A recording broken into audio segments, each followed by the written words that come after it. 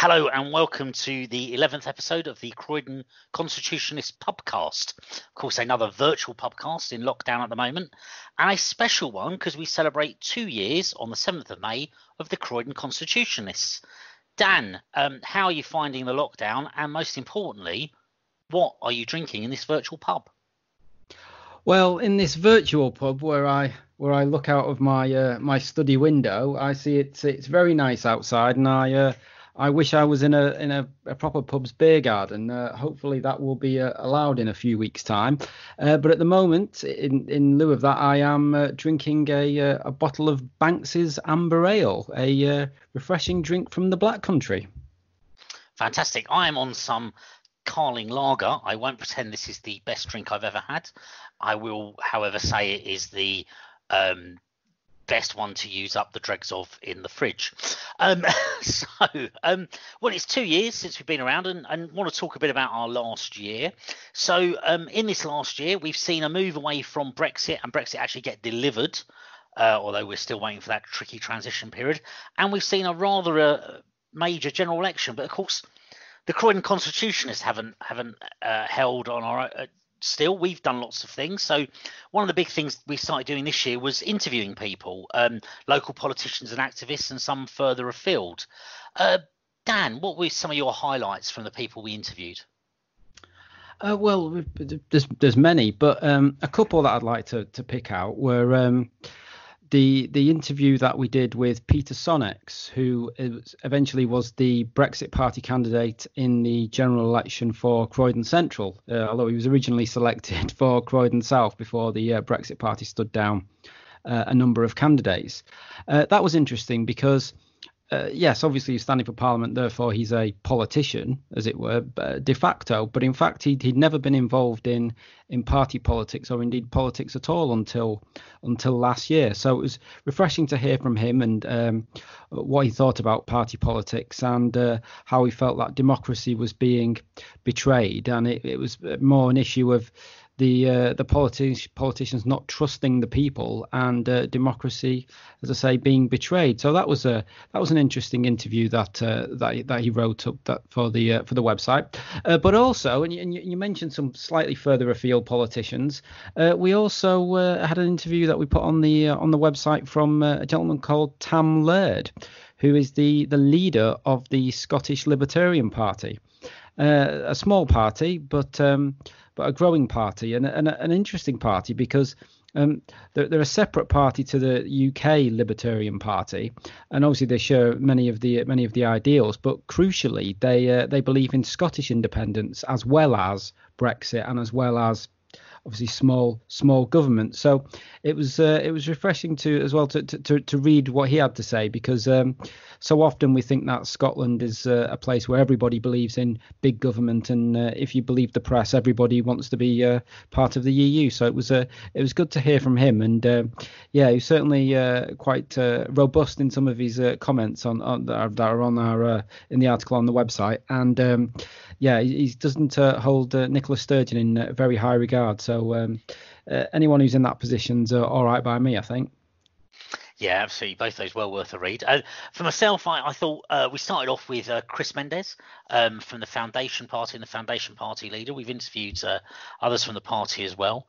Uh, Chris, many of you will know, he was the Croydon South lead in the Brexit campaign uh, and put a huge amount of work there. was around in UKIP for a while and then set up his own party with a, a number of people from from different areas. They've got a few councillors, fairly locally based in Kent, although they do have a councillor in Essex, I think. Um, really interesting to hear what it's like to set up a party and, and what they've run, and that's that's well worth the read from him there. Also, uh, Chris Philp MP, so my local MP, one of the MPs for Croydon. Um, he's a, a now a minister and a, a, rising star in the Conservative Party. Nice to have an MP at the time of an election actually write uh, for us or, or write an in, uh, interview with us. Um, really, you know, good to get that. Uh, Chris is a fairly local lad. He grew up in West Wickham, so some interesting stuff there. Uh, he also had his first campaign against Glenda Jackson, the um, uh, Hampstead and Kilburn MP at the time, and uh, the famous actress. So we, we, we talk a bit about that. So yeah, really good good good sets of interviews. Loads of others on there, well worth having a look. Lots of different parties, um, and yeah, for, for interest to you. But it wasn't just interviews uh, in writing we done. We we also in our podcast started moving to interviews this year, and a number of people we spoke about. So Dan, I don't know any guests you particularly enjoyed speaking to. Yeah, so the, the, there was many really, but um, there was a, there were a couple of podcasts that we did uh, where we had we had two guests. We had uh, Hung Wei Chia of the uh, the local branch of UKIP, and we had we had Sean Finch from the uh, the the Libertarian Party. Um, and that was good because we had them uh, chatting amongst themselves as to the different positions in terms of how libertarian they are. So obviously, the Libertarian Party is libertarian, and as the name suggests, but also uh, UKIP, according to its constitution, is a is a libertarian party. Uh, and it was interesting to to hear them discuss the the differences in emphasis that they they have between them. Uh, although it was also good to see that there's a there's a lot of shared shared positions really. Um, and they also carried on with a, a second podcast uh, that we published later uh, in which they discussed the future of libertarianism uh, and democracy in this country. Um, some things to worry about but um, but also good to see that there are people out there uh, from slightly different political persuasions perhaps but uh, who certainly have our uh, our country's liberty at the fore of their mind. No, absolutely. That was a, a good evening uh, where where the uh, Dan Hongwei and Sean came round to my house to record this. This is uh, something that seems like a, a, crazy thought in modern times, but but believe you me, we could once do that. Um, a couple of couple of ones I really enjoyed. So the, our podcasts um, became more dynamic this year with some music. Um, fantastic music from Tim Juice, uh, a local uh, mus- musician, um, a avid uh, Brexiteer. Uh, we interviewed with him. Uh, really interesting about what got him to believe in in our need to leave the EU, and that dates back many years. Um, and talking about what it's like in the arts world being a, a Brexiteer. So interesting stuff there. And of course, we interviewed David Kurten, uh, the GLA member, who's uh, spoke at a couple of our events, um, who's also had a recent interview with. Really. Um, David's a very happy warrior. He's running as an independent candidate for Mayor of London um, uh, in the postponed, but hopefully now next year uh, uh, campaign. So another elected member. Uh, really good conversation with him about what's going on at the moment and and where he sees the country going, and indeed his new mayoral campaign. Um, but it wasn't all local in London. We we took on a bit of an international theme this year. Um, now I, I was tempted to say the the Scottish interview was an international one, but that's maybe a, a bit harsh. But we, we spoke to quite a few um, uh, people further abroad and, and about further themes. So, firstly, I undertook the uh, massive sacrifice, listeners, and you know, I I'm there for you on this of travelling to Australia and writing about um, my experience with politics there, visiting some parliaments. Uh, quite an interesting um, take on Australian politics. I shouldn't say that about my own article, but you know, if you're interested in politics further, I feel worth a read. We interviewed Frederick Dominicus, the leader of Partei der Vernunft, the Party of Reason or the German Libertarians. Uh, interesting take on German uh, stuff there. An interview with Nimit Shishodia. Uh, he's a UK-based um, Indian, and from as in he's from India, and talks a bit about Indian politics. We of course appeared in the uh, Canada's newspaper of record, the Globe and Mail, from one of our drinks, and we spoke to Mel McDermott about politics in Ireland. Dan, through all of those, uh, any thoughts, anything that leaps out of you that we done? Yeah, I mean, I think obviously uh, when we were, uh, many of us were were interviewed by the uh, the Canadian press. That was uh, that was interesting that they would uh, see fit to, to visit Croydon and uh, discuss matters with us over a few drinks. That was always always a pleasure. Um, but yeah, good to, good to hear from. Um, from from Frederick in uh, in Germany uh, to hear to hear how libertarianism in, in Germany is is uh, is going. Um, clearly, they are uh, there's, there's issues there in terms of uh, there's been you know far far too much immigration um, but interesting to see how they are against the EU in its current form, but they are generally in favour of, of open borders and, and things like that. But they uh, they're not keen on the on the current setup. So um, it's good to take a to, to see a German take on that, and uh, and to note that they are quite jealous of us uh, with our position that we are we help Brexiting. So um, yeah, good good to uh, good to speak to uh, to Frederick. I've always said, of course, it's uh, Calgary, New York, London, Paris, Croydon. Those are the key places, and the, the Canadian newspapers know it all too well. Um, apart from speaking around the world, there were some more local events we organised. So, um, two big events uh, this past year. There should have been more, but uh, first of all, the Freedom of Speech, just what will you say event uh, in Croydon back in September in the um, Green Dragon pub, and David Kurten and Harry Fone uh, both spoke at that. Um, Harry from the Taxpayers Alliance, who we've done a lot of work with, street stalls, talking about the town hall rich list. Um, he spoke about the NHS on the evening and, and how we're not necessarily allowed to talk about that.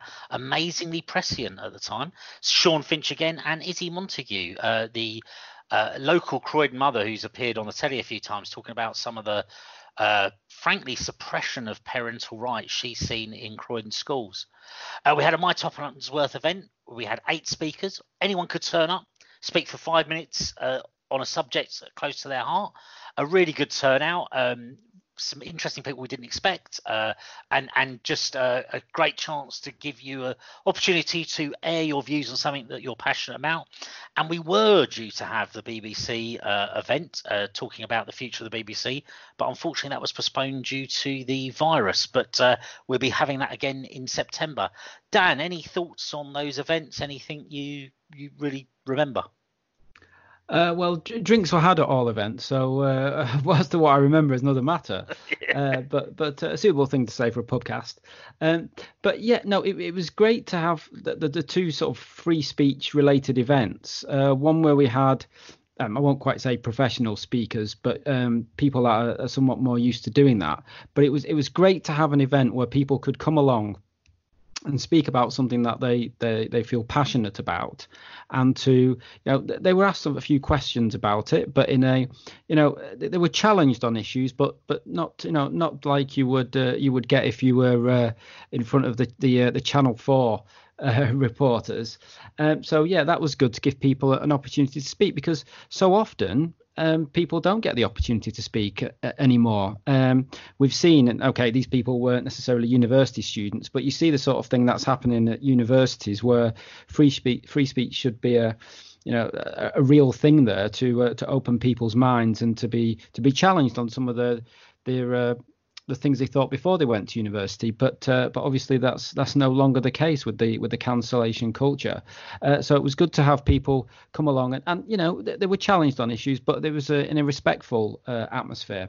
So yeah, I'd say that was good. Uh, disappointing, obviously, not to have the uh, the BBC forum on the on the future of the BBC, but we will we will reschedule that uh, just as soon as we are out of the current crisis.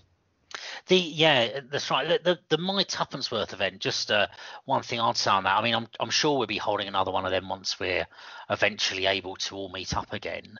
Um, and it's a great opportunity if you're you're tempted to do some public speaking or you haven't done too much, you want to try it out. It's five minutes. It's not that long. Um, I, I, suspect we use a very similar format. You can talk about anything you want that's that's uh, sort of close to your heart. Um, and and you know make use of that. Um, uh, if you're a, seasoned speaker, come and speak. If you're a new speaker, come and speak. It's it's there and it's free for you to use that. And it was really nice. Uh, I certainly felt really happy we were able to put something like that on. Well, um, that's sort of a, sort of some of the big things, but that's not all we've been doing. So um, uh, we've had a few writers for us, Phil and Josh. Phil talking about Sutton, Josh talking about Liberty uh, and Sutton Council, some of the issues there, Liberty, and some of the issues, uh, how we get out of the COVID 19 problems from Josh. So, really interesting. I've been interviewed quite a lot of times by Sputnik Radio. Um, so, I would say we're funded by the Russians, but I'm yet to receive payment. Um, it's it was great to speak to them. Really nice to get a chance to put my views across and uh, to air that with a wider audience. We don't get a lot of coverage in the press for anything that's a vaguely sort of classical liberal, libertarian, pro Brexit view anymore, um, but they give us that opportunity. Uh, we we had lots of opportunities to highlight problems at Croydon Council, partly with the Taxpayers Alliance, but but some of our own work looking at uh, the spending at the council, looking at the amount of money they they frankly throw away. Um, the council this past year or so uh, invested in the Croydon Park Hotel um, leasehold uh, for the land and in the Colonnade shopping centre for the land. Uh, they got very cheap loans. They are due to make money for services from that. And that's a brilliant strategy, providing there's not a global pandemic that kills off the tourist industry or shopping centres. Um, so as long as we don't have that, Croydon will be fine. And there are many, many other articles on there. So, uh, Dan, any thoughts, lasting thoughts, or ending thoughts for our past year and what we might be doing next? Yeah, I mean, I think we've we've had a, a successful year. Um, really sort of raised the profile of the uh, of the organisation, uh, both locally uh, by working with other parties such as the Taxpayers Alliance um, and, and, holding events. But um, it, has been refreshing to uh, to get some uh, more international uh, recognition.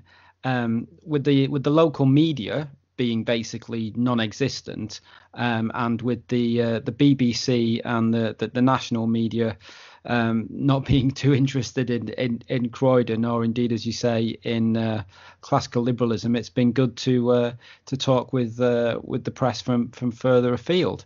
Um, yeah, I think for the for the future, hopefully, you know, uh, COVID nineteen permitting, uh, we'll certainly be doing some more street stalls with the TPA now that the uh, the latest rich list has come out.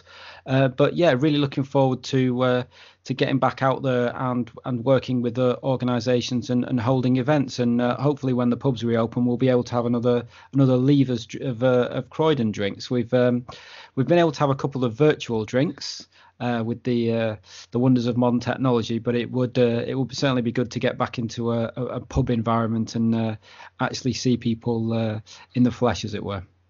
Absolutely. So uh, with that, thanks all for your time. Keep following us. If you want to write for us, get in touch. Um, follow us on social media. links will be on our website. And Dan, your turn to get around in. Cheers. Cheers.